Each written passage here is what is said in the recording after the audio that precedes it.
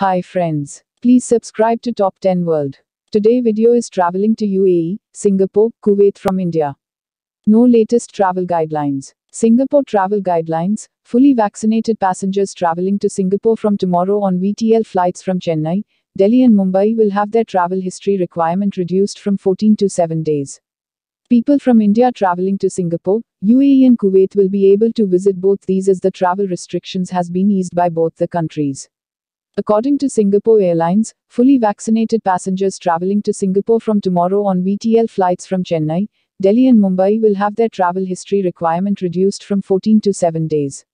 SIA said in a statement, from the 22nd of February 2022, Singapore time fully vaccinated passengers traveling to Singapore on VTL flights from Chennai, Delhi and Mumbai can adhere to the new relaxations.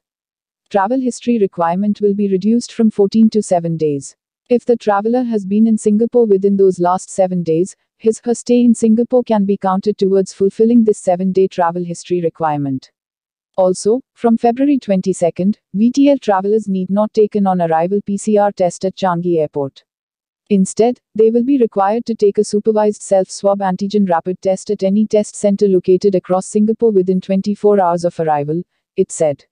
A testing notice with a web link to book tests will be issued to travelers upon their entry into Singapore. If the above ART is negative, no further ART PCR tests are required throughout one's stay in Singapore.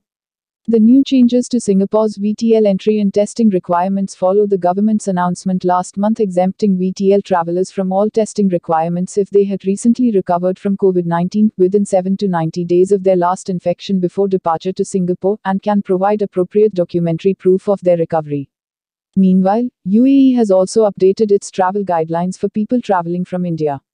These include passengers who have completed the full vaccination schedule of both doses in India are exempted from RT PCR testing prior to departure for travel to India from UAE.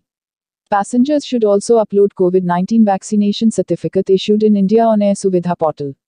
All other passengers should carry a negative COVID 19 RT PCR certificate and upload the same on Air Suvidha portal. The test should have been conducted within 72 hours prior to scheduled time of departure. All passengers should submit complete and factual information in self declaration form on the online Air Suvidha portal before the scheduled travel, including last 14 days travel details. All passengers will continue to undergo thermal screening on arrival and, if found symptomatic, will be treated as per protocol. After UAE and other Gulf country Kuwait has also announced some relaxations to people traveling from India to Kuwait. The new guidelines include passengers except visa on arrival in Kuwait with valid travel documents can enter the state of Kuwait despite their vaccination status. 1. Fully vaccinated only vaccine approved by Kuwait government are not required to take RT-PCR test to travel to Kuwait. 2. Partially vaccinated and unvaccinated passengers are required to take RT-PCR test to travel to Kuwait. Passengers who have taken two doses of vaccination approved by Kuwait and have completed nine months since the second dose are considered partially vaccinated. 3. Children under the age of 16 years are exempted. 4. Partially vaccinated and unvaccinated guests are subject to home quarantine for 7 days.